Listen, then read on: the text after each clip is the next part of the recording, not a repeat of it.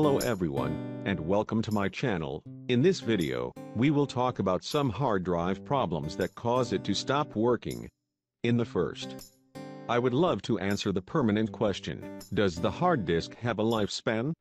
Of course, yes, everything has a default life, and the average lifespan of the hard disk averages from 5 to 10 years, and the lifespan may be less if the hard disk is exposed to temperatures or humidity greater than normal, and of course it may be completely damaged as a result of shocks. In fact, a hard drive is considered vulnerable after 3 to 5 years, and it may be damaged gradually or suddenly, therefore, it is necessary to take a backup copy of the data permanently. There are three signs strongly that a computer hard drive is approaching, and failing, we'll talk about it in detail. The most common sign, computer slowness, frequent freezes, and the appearance of a blue screen from time to time.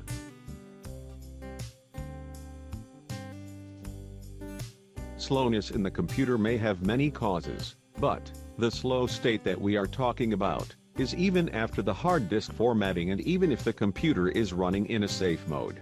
If you notice this, it indicates that there are problems in the hard disk and will end in a complete failure of the disk. There are some tools that may help you diagnose your hard drive, one of these tools, Crystal Disk Mark. This is a simple tool through which you can learn some information about the hard disk, the most important of which is the health status of the hard disk and the temperature as well as knowing the number of hours the hard disk has been running. Since its inception for life, I will leave you the Crystal Disk Mark download link in the description. After the examination, if the result is good, do not be afraid to fold the disk, because the slowing down is not caused by the hard disk, but if the scan result is bad, you should hurry up purchasing a new hard disk, and replace it with the new one, so as not to lose the data on the hard disk.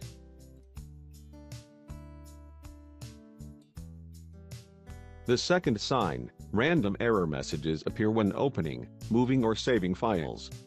If such messages appear frequently, your drive is on the way to fail. Some believe that these messages may be due to the presence of viruses, so immediately check your device with the programs designated for that.